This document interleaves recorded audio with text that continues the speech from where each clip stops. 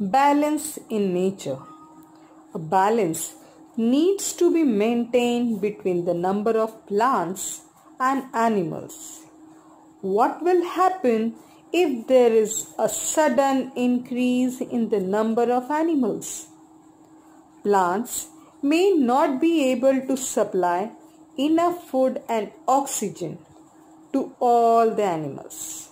Or if there is a sudden increase in the number of plants, the carbon dioxide breathed out by the animals may not be enough for the plants.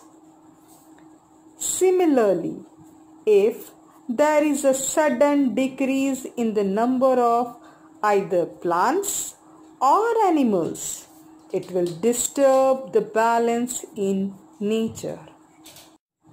To maintain this balance in nature, we have to protect both plants and animals' life. Under Wildlife Protection Program, wild animals are given special protection in forests, reserves, national parks and sanctuaries. Programs like Vana Mahotsava help promote the planting of trees. People are made aware of the harmful effects caused by the continuous cutting down of trees. Children, if life on earth has to go on, a balance in nature must be maintained.